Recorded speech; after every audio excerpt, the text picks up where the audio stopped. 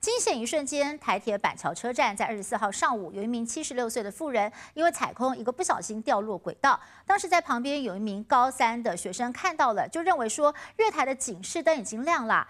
跑去通报，恐怕会来不及，非常的紧急哦，所以当下他就决定自己跳下轨道，把妇人带到了中间的柱子后方躲避，等待救援。虽然最后呢是成功的化解危机，但是台铁认为说啊，这样的做法真的是太危险了，以后碰到类似的情况，并不建议这样做。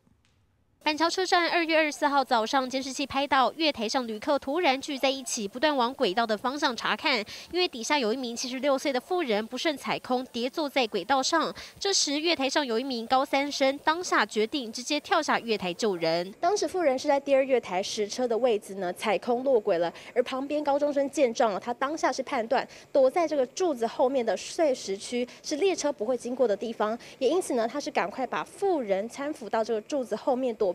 等待救援。站务长的那个办公室在中间的位置，我觉得是可能来不及了。就是先看到中间碎石区很安全，就是想说有柱子，然后又左右看了一下火车。车头灯是还没进来的。救人的李同学今年高三，就读永平高中，最后成功救了妇人。回想当下自己跳下轨道后，其实不到三十秒后，列车就进站了。那站务长是有赶快冲过来，那时候他过来的时候看得到火车灯了，所以就是也是跟我说就不要动。考量到的就是孩子他的安全的状况，所以我今天早上就一大早就把他请到办公室来，那跟他了解他整个做决策的过程。至于受伤的妇人。只有轻微擦伤，拒绝送医，直接返家休息。而这起事件共影响了五列车四十分钟。列车进站时，司机员预防性刹停，未影响列车行车安全。不过，铁路警察也特别强调，不鼓励民众跳下轨道救援，除了会造成自身危险之外，也有可能违反铁路法。建议民众如果发现落轨案件，最好还是第一时间通报台铁人员。记者郑山林星新北市报道。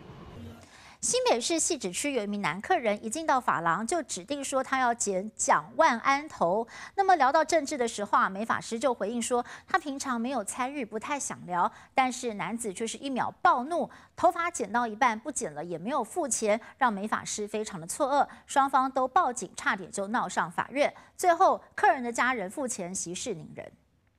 休息上课，啊，不要像金正恩那样。男子进发廊对发型要求很抽象，说不要像金正恩头。我中南部哦，那些人一定剪这样子，我不是他们约好的。真的？笨。要设计师照他的方法剪，还一边想要讨论政治，形容想要的发型也很政治，说要蒋万安头。你好歹跟蒋万安学一下，对吧？美发师不想聊政治，也有事，一秒惹怒对方。是够乱对吧？政治的。我不知道，我没有去参与这个，我是要找的呀。你可以换话题就好。讲没几句，男子大暴揍，头不剪了，说走就走。我现在就要走了，我要给你多少？为什么走了？你不用问，来多少钱？我帮你剪完啊。我不要，收到。这样很奇怪。我在想，应该是政治的话题吧，我猜啦。如果有遇到这个话题，我就会带过，我说，哎，我不清楚，哎，我不知道，哎。那可能就是这句不知道惹到他。美法师错愕不已，向对方收五百块，反遭辱骂，剪这样还要五百。我现在等着你，我要我要剪头发，报警，脑子有洞。美法师不止被凶，还被羞辱，美法师气到报警，但警方赶到前，男子亲友息事宁人，来补上剪发费用。剪个头发被政治议题缠身，美法师真为难。记者王翔、邹纵岭新北采访报道。新北市板桥警分局有一名潘姓员警屡屡出包，遭到民众提告。他因为呢这个偏激的执法过程，多次遭到民众申诉，遭告上法院，案件更是多达了十多件。在过去，他曾经压制酒驾男子的时候，以将近百公斤的身躯故意的压在民众颈部位置，险害人断气。事后遭到法院判四个月徒刑，赔偿三十万元。而今年二月份，他再度因为乱开酒驾单据，又被告上法院。这回警局不忍了，将他记过调职，列入优先汰除远警名单。远警巡逻到一半，看见前方轿车并排，立刻上前取缔。可是不能边开车边用手机哦。远警口气激烈，强势执法，没等对方移车，甚至用倒数的方式连续开单。你现在要移动吗？问您最后一次，三、二。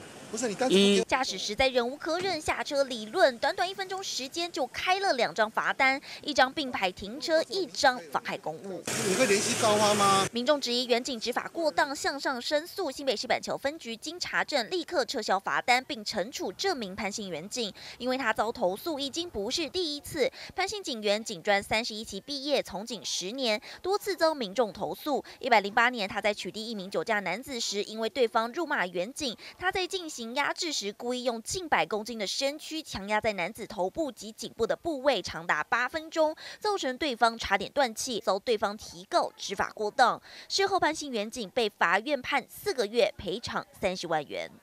没想到今年二月，潘姓远警再度执法过激，遭投诉。民众气得破网，表示自己的亲人在赶往医院途中遭潘姓远警拦下，认为他有酒容，坚持酒测，结果测不出有酒驾，还被潘姓远警硬带回派出所，遭质疑执法过当。如果说我们发现啊，他有这些客观的一个事实，我们就会啊报请检察官来进行强制的做一个抽选。金板桥警分局督察组调查，发现潘姓远警确实执法不当，民众也气得提告，全案移送新北市地检侦办。警局也不忍了，将潘姓远警记过、调离现职，列入优先汰除观察名单。记者王祥班、本旺甲新北报道。欢庆元宵节，澎湖有公庙举办了寡杯赢红包的活动，有一名高龄九十岁的郭老先生也来参加比赛。没想到呢，他寡杯是一连把出了二十个醒杯，打破了庙方纪录。这位老先生曾经担任这间公庙神明的鸡童长达三十七年的时间，也让民众直呼啊，应该是神明看到老先生实在是太开心了，才会一直给他醒杯。七嘴八舌，对眼前之景象吃惊不已，因为这位老先生接过脚杯，轻轻一扔就是正脚。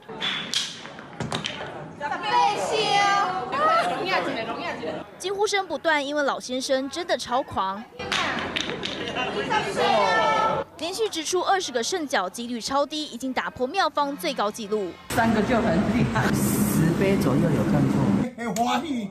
哦，啊，不是人拜，是心愿的心灵来个拜。会这么说，是因为高龄九十岁的郭老先生曾在这间庙宇担任主神玉皇三公主的鸡童，长达三十七年。他在二十五号回到庙里参加元宵节直角赢红包的活动，没想到一口气掷出二十个圣角。可能我们三公主也是蛮感谢他的，所以让他一直出现圣杯。